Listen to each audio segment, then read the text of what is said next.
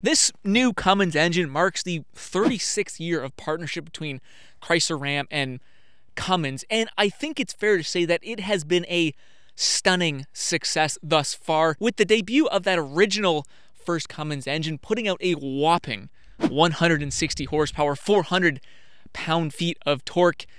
Things have become a little bit spicier here in 2025, with this engine putting out well over a thousand pound feet of torque standard. We got to talk about this front end here because I actually kind of like it. It's growing on me.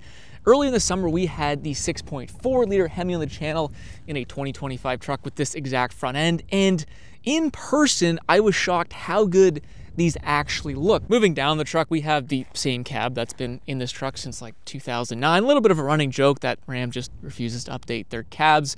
Um, unfortunately, we do have a long box with us this time, and it is in good old rental white. But underneath this cab resides a massive upgrade for this engine and for this, this platform, and it is the ZF 8 speed Powerline transmission, a true commercial grade transmission. And well, the historical performance of the ZF 8 speed transmissions have been pretty much spectacular, and having a very high quality transmission behind this Cummins engine is something that this platform has needed for a while.